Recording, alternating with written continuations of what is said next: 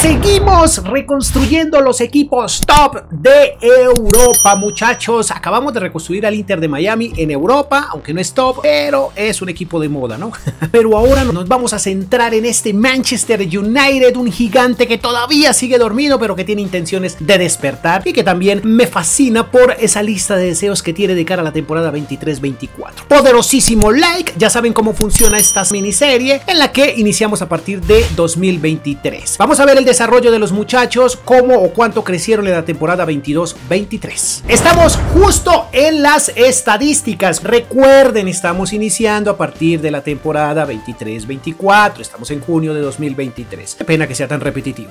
En fin, vemos por aquí que el señor Bruno Fernández creció 4 unidades. Anthony creció 5 unidades. Este muchacho tiene un futuro, aunque no, no sorprendió tanto esta temporada, ¿no? 3 unidades para Marcus, que pues dicen que se va al PSG. Yo creo que no. Este señor termina su préstamo. A mí no me gusta en lo personal, no me gusta nada. Este señor, 4 eh, unidades. Jadon Sancho también apunta a salir. Y el fichajazo de esta temporada para el Manchester, que fue Casemiro. Savixer regresará al Bayern Múnich. No lo tengo mucho en estos planes. Bueno, ya veremos la lista de deseos. Martínez, sin lugar a dudas, el campeón del mundo. Seguirá con nosotros. Y este pequeño Ronaldo que va en desarrollo, chicos. Va en desarrollo este pequeño Ronaldo que se ganará el 7. No sé si en este episodio, pero al menos en FC24 sí se lo daremos. Diallo eh, sigue en préstamo. Eriksen creció bastante. Ahora es el suplente. Jugó 34 partidos, pero es el suplente de nuestro Bruno Fernández. El Anga también creciendo. Anthony el sueco va bastante bien. Este chico que es el futuro de él o es parte del futuro del Manchester United. Chicos, antes de que lo olvide, les encantaría ver un episodio de, en este FIFA 23 única y exclusivamente la juventud del Manchester United. Mm, no sé, empezando por ahí desde la segunda o la tercera división. Sería fantástico. Me lo dejan en comentarios. Solamente, como quien dice, eh, la juventud del Manchester, las jóvenes promesas del Manchester United. Por aquí también tenemos a McTominay que no está muy invitado a esto. Mm, ya veremos. El Lindelof tal vez si continúe con nosotros. Phil Jones, la vida o la historia de Phil Jones en este equipo es bastante triste, ¿no? Jurado, el futuro del Manchester United. Este Iqbal también.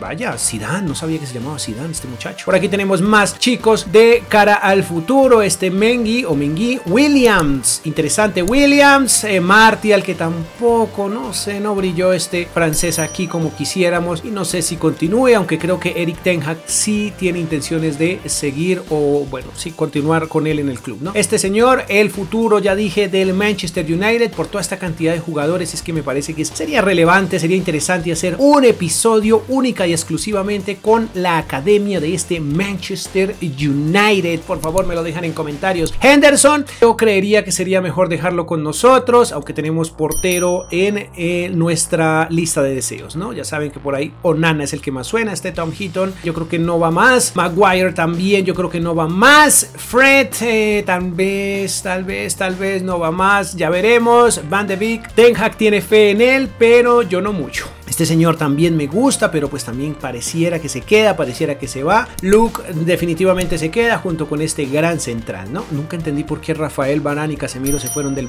Real Madrid. En fin, Juan Bisaca y por último De Gea que ya tiene un pie fuera, estoy seguro, no estoy seguro más bien, sí creo que ya no es del United, se fue como agente libre. Vamos a la lista de deseos, chicos, esto fue lo que crecieron nuestros muchachos en la temporada 22-23, pero nosotros vamos a finalizar ya. Lista de deseos, tenemos la lista de deseos que nos encanta y que está bastante larga. Vamos a iniciar con Harry Kane, que se dice que tiene un pie más en el Bayern Múnich. A mí me gustaría que viniera al Manchester United. Creo que sentiría o estaría un poco más cómodo. Creo yo, es un club que puede llegar a ganar muchos títulos todavía. Y pues no sé, ustedes decidan. Ya saben que esto no es lo que vamos a fichar exactamente. Puede que sí, puede que no. Neymar puede que continúe. De hecho, ya inició sus entrenamientos con el Paris Saint Germain, pero creo que está lastimado como cosa rara. La nueva directiva o el nuevo DT del Paris Saint Germain pues simpatiza bastante con este señor, entonces no creo que lo deje ir, pero a mí me gustaría tenerlo en el Manchester United. Suena fuertísimo para este club, teniendo en cuenta la posible salida de Jadon Sancho. Por aquí también tenemos a Frankie de Jong. Este Frankie de Jong sigue siendo apetecido por el señor Tenja. Portero Maignan, pero pues no estoy muy seguro porque Onana puede llegar, ¿no? Teo, Teo dice o reafirma su estadía en el Milan, un equipo que vamos a reconstruir más adelante, pero a mí me gustaría tenerlo aquí aunque tenemos a Luke Shaw, entonces eh, no estamos tan mal. Este señor que ahora pertenece al Madrid, el señor Víctor Oximen, podría llegar a pasar, Sadio Mané tiene un pie más en Arabia Saudita, este Cobel también interesa y el grandísimo Lautaro Martínez podría llegar a ser un gran 9 para nuestro Manchester United. Kingsley Coman por ahí dicen que también interesa bastante, Hakimi, mmm, que quiere ir más bien al Madrid, pues a mí me gustaría tenerlo por aquí. Sommer y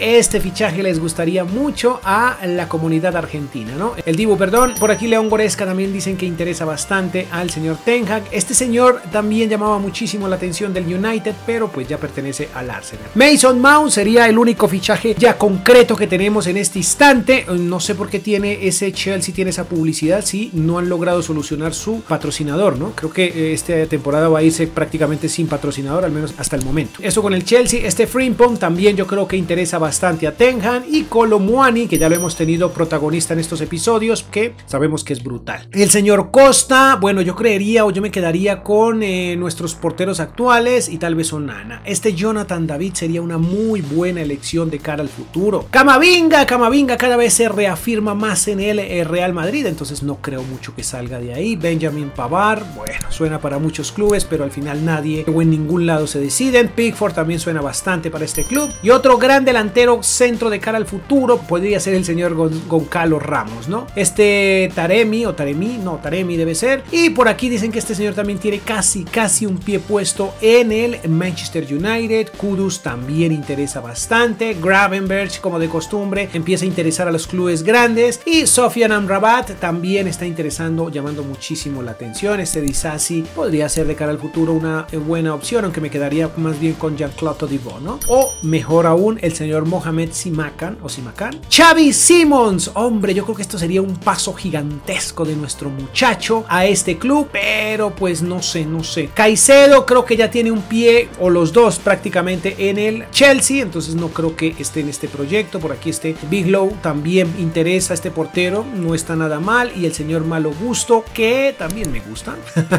Onana, este Amadou Onana que está llamando muchísimo la atención, sería interesante. Koch también llama la atención de Ten Hag. Y por último, el nuevo Haaland. Ojo que el nuevo Haaland podría llegar a este proyecto. Por otro lado, este Oscar podría ser, de cara al futuro no está nada mal. Y este otro danés Maurits, que ahora pertenece al Atlético de Madrid, dicen que interesa también a Tenka. Esta es más o menos la lista de deseos, un poco larga.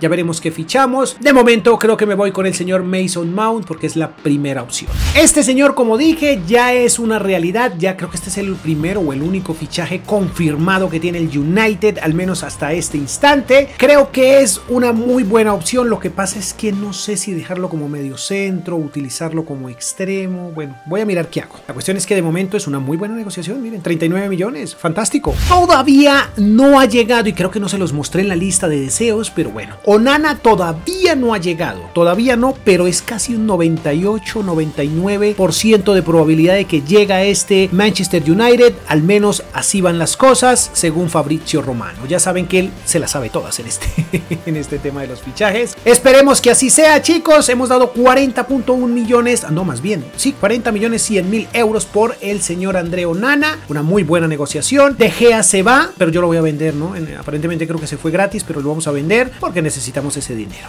Dios, dicen que este es el central más caro de la historia en el fútbol inglés. No estoy seguro, o al menos del Manchester United. Pero, pero, pero todavía no ha ido, todavía está. Ten Hag dice tenerle fe, dice que puede continuar, pero yo no estoy tan seguro. Yo más bien lo dejo ir. Va Barcelona y me traigo estos 32 millones que creo que le llegan bastante bien al United, aunque es un club con bastante dinero, pero, pero, pero, pero, pero, adiós muchacho. Otro que no tiene, bueno, tenemos por aquí un préstamo y también tenemos la salida, no sé si nos va a salir eso, sí, aquí, sí, perfecto. Tenemos la salida de Fred, que no está invitado a este proyecto, se va a la Roma, muchas gracias por todo, un brasileño fantástico, pero tenemos nuevos planes. Otra salida fuerte, pero que no cuenta para Ten Hag, o más bien para nuestro proyecto actual, perdón, Aston Villa, no sé por qué tenemos ese escudo. ¿Fue que lo cambiaron en el FIFA? ¿O será de tantos mods que instalo? Algo pasó. Bueno, en fin, continuemos. El fichaje que podría reventar el mercado de fichajes, valga la redundancia, es este, muchachos. Yo sé que tiene un pie, como ya dije, en el Bayern Múnich. También está muy, muy interesado el PSG. Por otro lado, considero, pero este ya es mi humilde opinión, es un rumor fuerte, evidentemente. Él quiere jugar en un, en club que vaya Champions, que consiga Champions y muy probablemente este nuevo proyecto de el Manchester tal vez no gane la Champions en esta temporada, pero tiene un proyecto interesante. Además, el hecho de ser inglés creo que le llegaría bastante bien. Este es el 9 que podría funcionar muy bien para el Manchester United. Creo que piden más de 100 en la vida real, aquí salió por 85, un precio muy razonable y pues no sé muchachos, díganme ustedes en comentarios. Ahora, lo más probable es que tal vez no pase, que no suceda porque el Tottenham estaba pidiendo bastante dinero, pero a mí me gustaría que llegara en lugar de irse a cualquier otro club, inclusive prefiero este club Madrid. Con eso lo digo todo. Préstamos y más préstamos, siguen los préstamos, pero también algunas ventas, ¿no? Axel Tuansebe no sigue con nosotros. Este chico, bueno, me encanta el futuro de este muchacho, pero de momento hay que dejarlo que crezca en clubes pequeños. Jugador que no cuenta para nosotros esta temporada. Esta salida, pues no sé si llegue a suceder. Lo que sí sé es que aquí ha sucedido y creo que me voy por Hakimi, que me interesa muchísimo. La salida de Hakimi también es complicada. Dicen que es más posible que vaya Madrid si sale del PSG, ¿no? Pero a mí me interesa. La negociación de Hakimi se cayó y yo creo que puede haber más interés de Ten Hag por este señor de los Países Bajos que tiene un futuro maravilloso y que, hombre, es joven, aunque Hakimi también es joven, pero muy costoso, 90 y tantos millones y aquí lo pudimos sacar por 65. Yo creo que este es un buen cambio, chicos. Esperemos no haberme equivocado. Préstamos y salidas.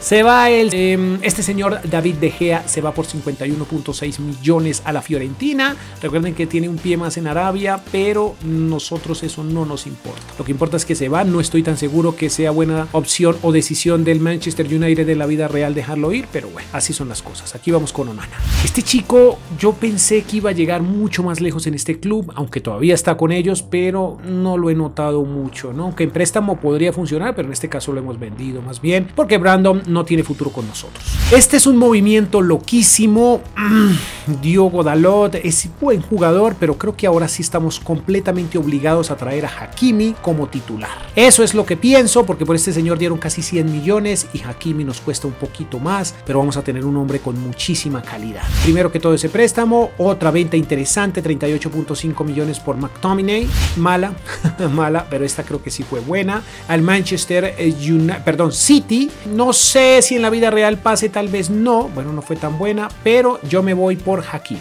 Hakimi, Hakimi, Hakimi, que lo más probable es que siga en el Paris Saint Germain y de salir es también muy probable que vaya al Madrid, pero yo le quiero echar mano, sé que este fichaje es brutal. Poco creíble, pero puede pasar. Dicen los que saben que este es el nuevo Haaland, este es el futuro Haaland, aunque todavía tenemos un Haaland nuevo, porque Haaland es completamente, es un chico todavía, es joven, pero dicen que este Rasmus es el nuevo Haaland, de hecho tiene un, apellido parecido, Hovland, Hovlund, no sé cómo se pronunciará, la cuestión es que vamos a darle tiempo, va a ser nuestro suplente, lo hizo bastante o lo está haciendo bastante bien en la Serie A, yo creo que aquí puede llegar a tener un futuro más interesante. Uf, esta venta, yo creo que, bueno, si el Manchester la hace, tiene que hacerla por mucho dinero, porque este señor costó muchísimo, pero al parecer es muy probable que salga del club. En este proyecto lo vamos a sacar en base a rumores, ¿no? Se va, ¿a dónde se va? Se va al Manchester City por 118 millones, creo que valió 120, bueno, no recuerdo realmente. Pudimos eh, sacar un poco más, según nos dice esta, um, este precio razonable. Bueno, en fin. Anthony Martial, hace un par o tal vez tres FIFAs, eras una cosa loca, muchísimas expectativas y al final eres solo esto. una mala negociación. Este es un fichaje de cara al futuro, el señor Maurits Kajegar, no sé cómo se pronuncia el danés, para el medio campo, 20 añitos, creo que fue una buena negociación Álvaro Fernández, tiene futuro Álvaro Fernández, pero prefiero cambiarlo porque no creo que vaya a tener minutos, la verdad. Y este señor sí me va a servir de recambio. Este es un rumor fuertísimo, el señor Kim Min Jae, como defensa central lo traemos de recambio de recambio va a ser suplente porque solo tenemos a Lindelof y yo creo que necesitamos dos. Ahí creo que vamos bien, este es un rumor fuertísimo, esperemos que funcione. Termina este mercado de fichajes y nuestra plantilla ha quedado de la siguiente manera, nuestro proyecto deportivo es este. Harry Kane, Rashford que ya está, lo estamos regresando a extremo izquierdo, que creo que ahí va perfecto, él tiene su pie derecho, sí, creo que ahí va muy bien. Anthony continúa, sin lugar a dudas, Fernández. De recambios vamos a tener, ¿dónde está nuestro? Bueno, el señor Mason Mount va a ser el recambio, Casemiro, Eriksen, bueno, yo creo que tiene una temporada más para estar aquí como titular, aunque yo creo que después iremos con Mason, lo ponemos de volante, en fin. Barán, Martínez, Hakimi titular, sin lugar a dudas, y Luke Shaw. De recambio nos eh, tenemos a Malasia y por aquí al señor Frimpong. Creo que estamos bien. Onana, yo tengo fe en Henderson, Holland o Hulland.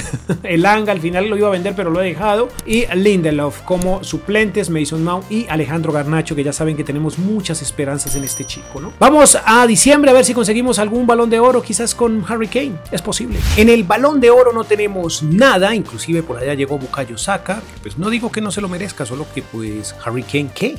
Por Dios, Está siendo una temporada fantástica. El proyecto pinta interesante y no nos está yendo tan mal en el, eh, bueno, en la temporada, pero tengo que reconocer que casi que no jugamos una final, por Dios. Tenemos un proyecto bastante ambicioso, bastante costoso, pero no hemos llegado a finales. Esta es la primera. Miren este buen fichaje que tiene este Burlane. Creo que es el Burlane que... No, perdón, el Bournemouth. Buen fichaje, pero nosotros vamos a sacar adelante esta copa, muchachos. Esta eh, la vamos a jugar única y exclusiva exclusivamente con la suplencia. No estoy subestimando, bueno, sí estoy subestimando al Bournemouth, pero es que queremos o tenemos la necesidad de saber qué es lo que tenemos en el banquillo. Nosotros tenemos tres chicos jóvenes, uno de ellos es el nuevo Holland, que pues de cara al futuro podría llegar a ser el 9 de, este equipo. Y también tenemos a Garnacho, por otro lado tenemos a Elanga, que hombre, son, son la juventud de este Manchester United, entonces tenemos que probar si son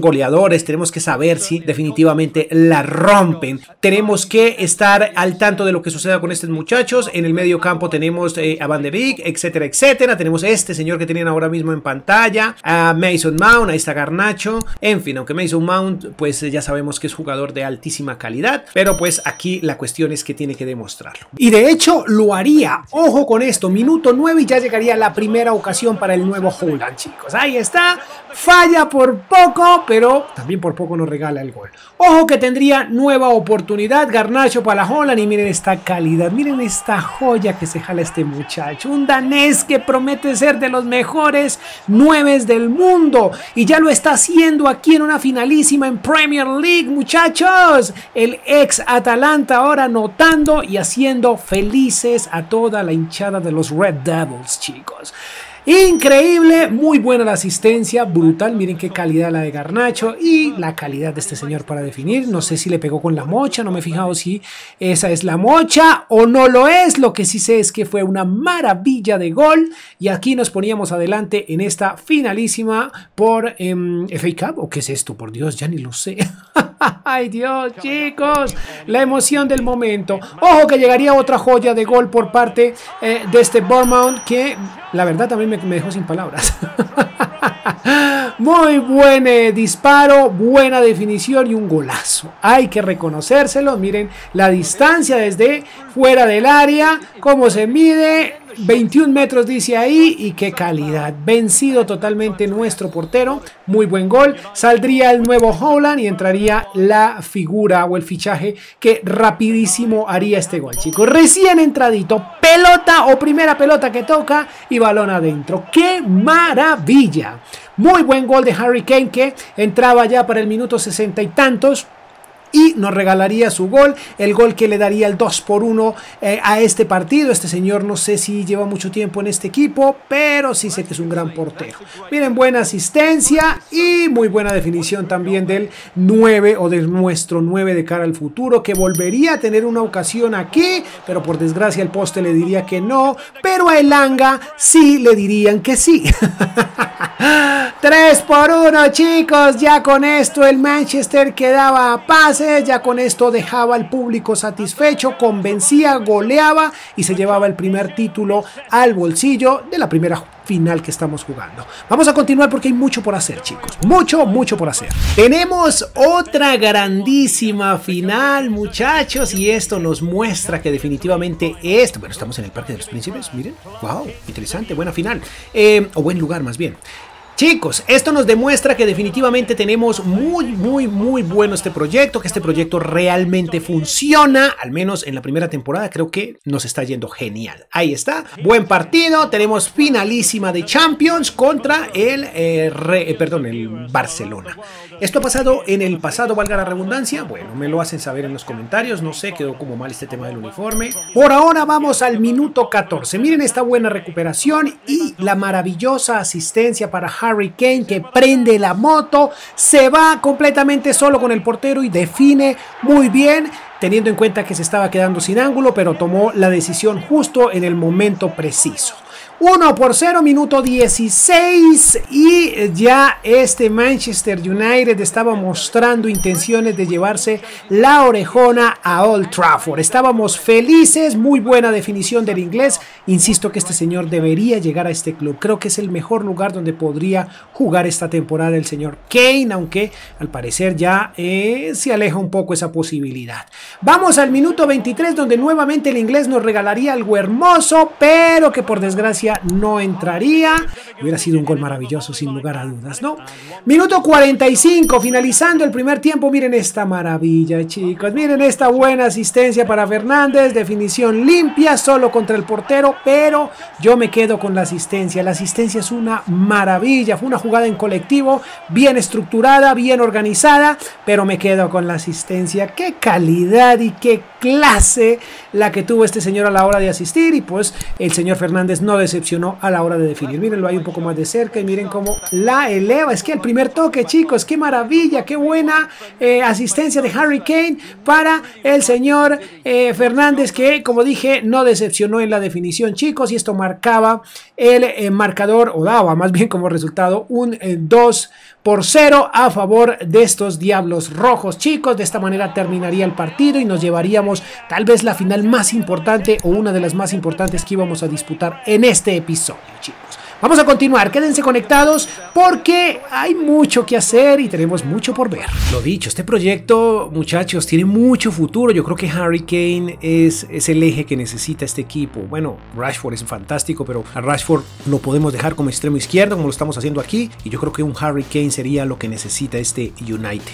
Tenemos FA Cup y evidentemente la Champions, ¿no? Nos vamos con tres títulos esta temporada. Muy bien. Bueno, creí que le iba a ir un poco mejor a Kane en el goleo, pero bueno, es que también tumbar a Haaland no es tan fácil, pero también está Son, que hubiera podido ser fácil de derrotarlo, pero bueno, no fue así. Asistencias, bueno, el mejor asistente es Fernández. Y el mejor portero de la temporada es Pickford. Miren, interesante, nuestro portero ocupó el séptimo lugar. Haller es el máximo anotador de la Champions. Miren, interesante, nuestro Kane ocupó el décimo lugar. Y por otro lado, en las asistencias, eh, Di Marco del Inter y Eriksen en el quinto lugar. El mejor portero de la Champions fue Noia. Onana ocupó el cuarto lugar.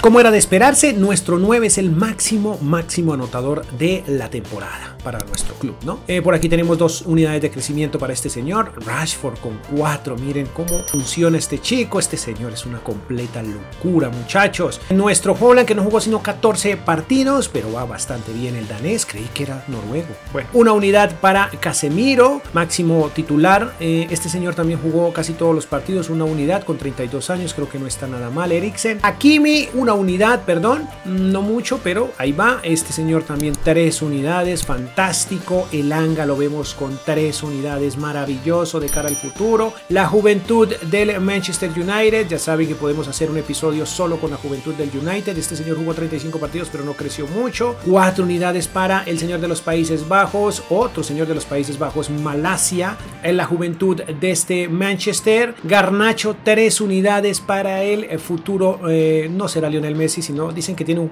juego más parecido al de Cristiano, ¿no? Muy seguidor de Cristiano también, ¿no? Una unidad, por aquí este señor también una unidad, eh, nuestro danés, vaya, creció dos unidades, no jugó tanto, pero bueno, tendrá oportunidad. Recuerden que aparentemente podría ser o podría pasar en la vida real que el Manchester, si no cierra su negocio con Onana, van a utilizar a este señor como portero titular. El Lindelof, bastante bien, 12 partidos, Van de Beek, una unidad nada más, jugó 19 partidos, aún así.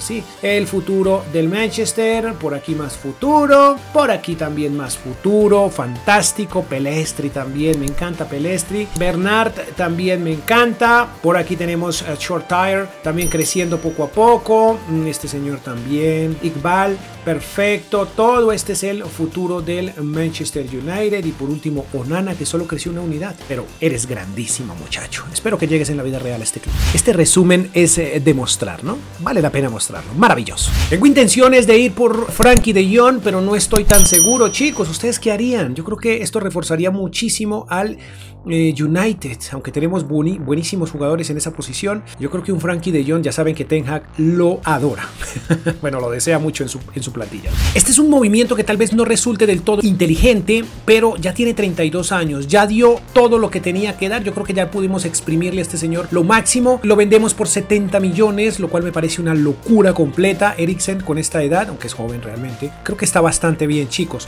¿Por qué? Porque esto nos apalancaría bastante la llegada de Frankie de Jong, que yo creo que es, es buena. Yo tengo fe en eso.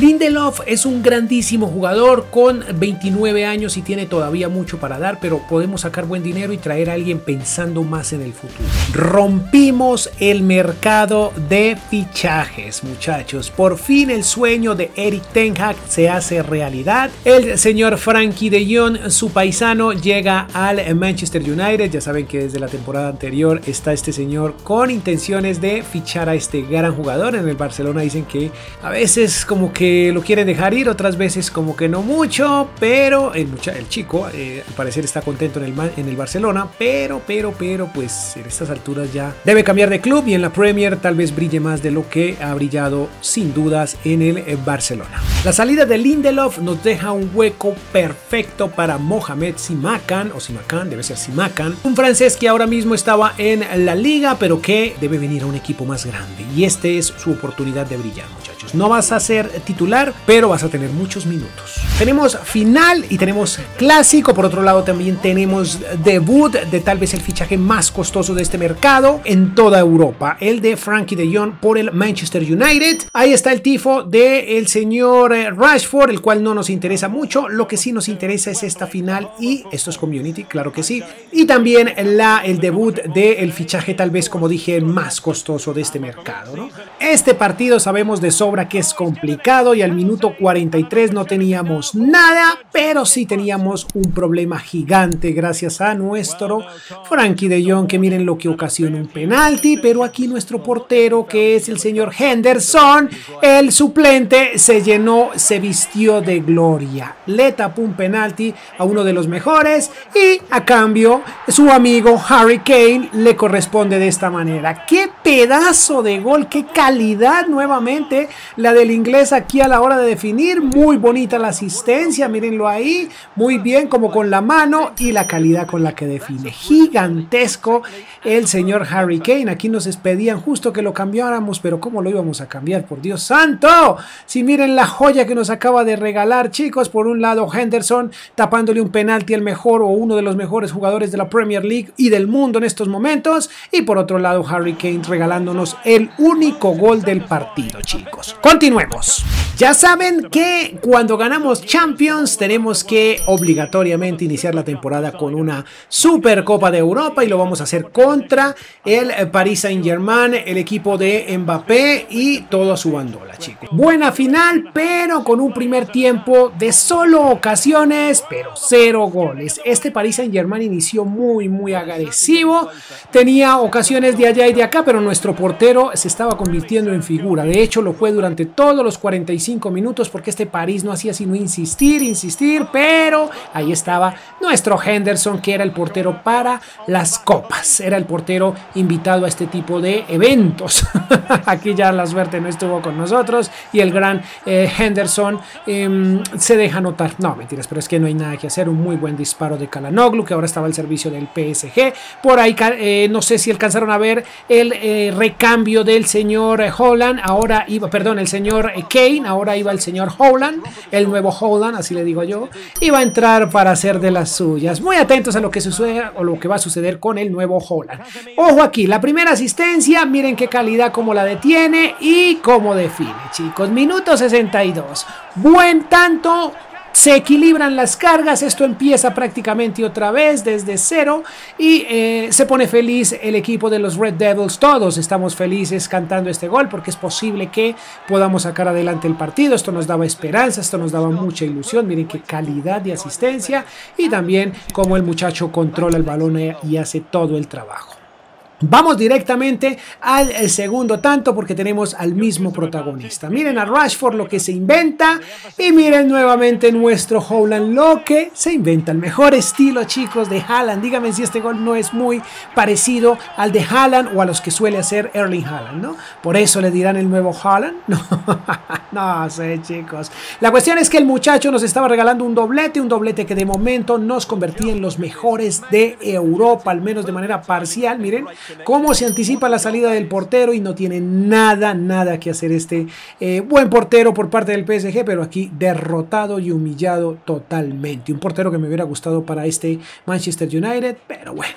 En fin, chicos, 2 por 1, celebra Ten Hag, habrían más ocasiones por ahí, de hecho, hay una más en donde este señor se pudo llenar de gloria, nuevamente un muy balón, un muy buen balón centrado, pero aquí gigante Donnarumma evita que nuestro muchacho se lleve su hack trick a casa.